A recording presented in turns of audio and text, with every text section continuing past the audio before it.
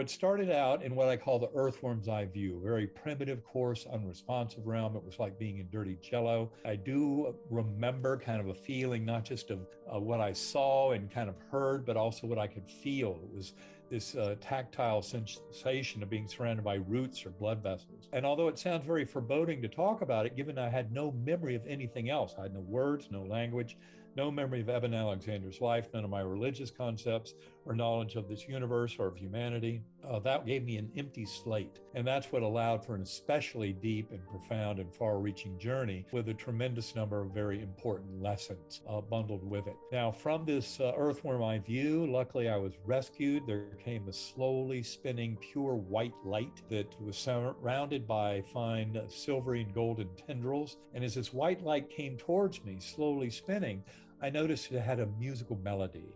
And that became very important as a theme because what we remember is music, notes, frequency. Those kind of things can actually serve to allow our soul to traverse these various levels. So, sound was a very important concept, although I hope people realize that in those realms, far beyond the here and now and the sense of the physical, sound can go way beyond what we normally think of as music in this uh, four dimensional space time it can be far more extraordinary. It's really coming kind of from Plato's world of ideals. And that was kind of the music I heard. And that's what ushered me up through this portal that led from that uh, primitive subterranean earthworm's eye view up into this rich, ultra real Gateway Valley. Uh, and the Gateway Valley was where so much of the action happened in this journey, although it was not the ultimate destination, as I'll explain in a few minutes. But the Gateway Valley was kind of an intersection point with lots of kind of Earth like features. I was a speck of awareness on a butterfly with millions of other butterflies uh, surrounding me and uh, looping and spiraling in these vast formations. And I remember witnessing below us this meadow, perfect, verdant, fertile meadow surrounded by this rich forest. There were no signs of any death or decay, and the flowers, blossoms, buds on trees what have you. We're all demonstrating this dynamic, rich explosion of life and of meaning and of power and of existence, of will, of this sentience. It was just an amazing uh, thing to live through and, and to witness. The amazing thing for most people uh, to understand is that it was much more real than this world. It was packed with kind of meaning and uh, the, the extent of of uh, kind of existence. And to me, it was a very instructive and informative. And not only that, it was very comforting. I remember beside me on the butterfly wing was a beautiful young woman. Sparkling blue eyes, high cheekbones, broad smile, high forehead. She never said a word to me. She never had to. But her message, which I think was the central message I was to bring back to this world, was very simple. Uh, and it was delivered telepathically, emotionally, connecting with her soul. You are deeply loved and cherished forever. You have nothing to fear. You are deeply cared for. And I cannot tell you how affirming and refreshing that message was, especially coming in the setting of that extraordinary earthworm eye view and the ascendance through this portal up into this ultra real Gateway Valley. That was truly an extraordinary uh, transformation. And the interesting thing is how much it felt like home. It was a spiritual home uh, that was very reassuring. I think to me, especially in retrospect, one of the biggest surprises was how beautiful and accepting that realm was. Now, in that setting, I remember also seeing below us in this meadow thousands of beings dancing, lots of joy and merriment. And I remember seeing all of that and uh, this beautiful girl on the butterfly wing, and they all, all dressed in the same kind of simple garb, and yet it was very colorful. I remember this soft summer breeze that blew through.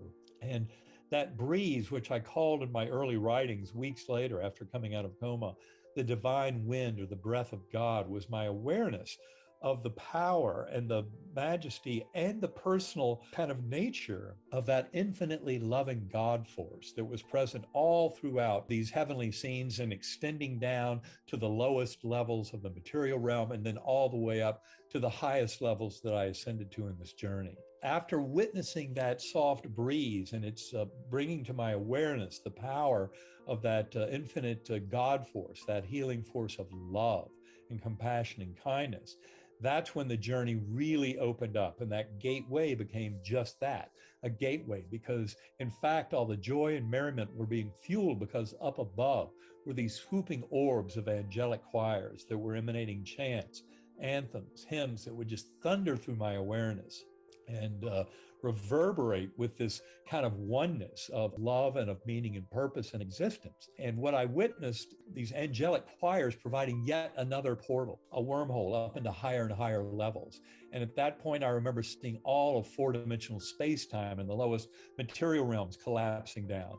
And then all of that spiritual realm that I was just now visiting and getting to know in this uh, profound fashion with a different uh, causal ordering that I call deep time. Important to point out, for example, life reviews, which you've often heard about, your life flashing before your eyes, those go back at least 2,400 years in the literature on near death experiences. And the life review is remarkable for two main facts. One is that these are not just a vague sepia tinted remembering of various events, but they're an actual reliving of events in our lives. And interestingly, we don't experience it so much from our perspective as from the emotional perspective of those around us who were influenced by our actions and even our thoughts. That's a really crucial thing to get about life reviews because it's showing us that we relive the event. And part of that is the ability to learn and transform from those that reliving. And the reliving, of course, involves dissolution of this apparent boundary of self that we normally live through, uh, you know, in this world in these bodies. But in the life review, the fact that we're sharing the dream of the one mind seems to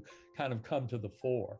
It's still clear that we have free will, that our choices about how we deal with ourselves and others is very important in all of this and in fact determines kind of our soul journey in this unfolding. So, from this point of this Gateway Valley and the many Earth like features, what happened was there was this next portal up. And that's when I saw all of the time and the material realm collapsing down, deep time and the spiritual realm. Deep time allows for things like life reviews to be a, a, real reliving and not just a remembering of events. And deep time also allows basically the transformation and evolution of all consciousness, which I think is what is going on here. So, in other words, just remember that what we view as earth time is just here to support the drama when our lives are unfolding as we live them, but that there's a much deeper and richer way of looking at it that can include this kind of phenomenon of life reviews and kind of a mid course correction that is also showing us that the boundaries of self are a fiction. And from that, I ascended up through this next light portal up into what I call the core. It was an infinite inky blackness, but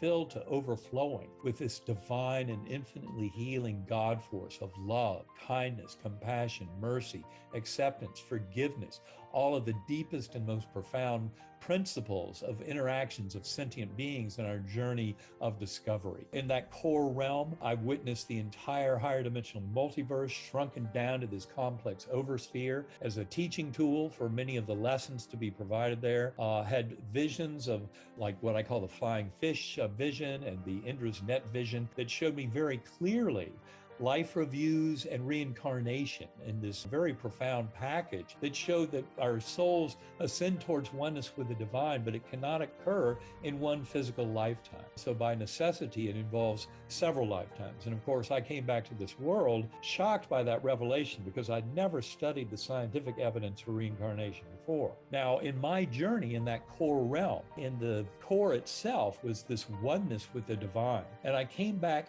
realizing that that deity. And I call that deity, as I describe in the book Proof of Heaven, I call that deity Om, because when I came back from my coma, the word God was a puny little human word with a ton of baggage to it. And I realized it didn't matter if you were going to label that infinite force of love and compassion and wholeness at the very source of our conscious awareness. If you wanted to call it God or Allah, Brahman, Vishnu, Jehovah, Yahweh, Great Spirit, I don't care. That debate is meaningless the reality of that infinitely loving force at the core of existence is what NDErs have been reporting for thousands of years. And that is the important lesson is that the ambience of this universe, uh, when we look at it through the raw data of personal experience of human beings who have had near death experiences, which are out there by the millions, what we end up discovering is that this universe, that background, is one of harmony, is one of love and peace, uh, and one of prosperity for all, which is certainly not something that is what emerges through the translation into our current material realm and the human situation. And that's why I think it's so important that we've had 5,000 years for religions to try and teach us these deep lessons of love, oneness, compassion, and kindness that NDErs have been uh, screaming from the rooftops for thousands of years. But now that the science of consciousness is allowing us to demonstrate that science fully supports the reality of these kind of journeys, it doesn't defy it, as the materialist neuroscientist in me would have tried to argue before my coma. But in fact, very consistent with the emerging science of consciousness is a vision of this oneness and love, this spiritual uh, nature that we share. And that was apparent to me, especially as I would oscillate through these various levels to my journey, because in that core realm, with uh, so much revealed about uh, sentience and the transformation and evolution of all consciousness, I would suddenly find myself back down in that earth earthworm eye view. Important thing is, I noticed very quickly by remembering the musical notes of the melody, I was able to conjure up that light portal that took me back up into the Gateway Valley yet again, always reassured each time I entered there by that beautiful young woman, my spiritual companion on the butterfly wing. And then I would ascend up through those angelic choirs again to the core realm. This happened multiple times. And every time entering the core, I was informed you're not here to stay, you'll be going back. I had come to believe that going back was actually going back to the earthworm's eye view. And I seemed to have solved that problem because I now knew I could remember the musical notes of the melody and always resurrect those pathways up into the Gateway Valley and then even deeper into the sanctum sanctorum of the divine in the core realm. But they weren't kidding. And there came a time when I tried to conjure up remembering the musical notes of the melody, and it no longer worked. So I was stuck down in those murkiest levels akin to the earthworm's eye view. But I also knew at that point that I could trust, that I would be taken care of, that the universe had a deep love for me, and that that would be honored in anything moving forward. And it was at that point that I witnessed thousands of beings going off into the distance around me, heads bowed, some holding candles, some with uh, hands up like this. And this murmuring energy coming from them was surprising to me. And the surprise was in that I felt this tremendous comfort and that feeling of a spiritual home that was similar to what I'd felt in the Gateway Valley and in the core realm. But now I was feeling it right here in this moment, in uh, kind of stuck in that never, never land of the earthworm's eye view. And yet all of these beings were generating this energy that was welcoming me back somewhere. I didn't know where to. And when I wrote it all up weeks later, I said that was the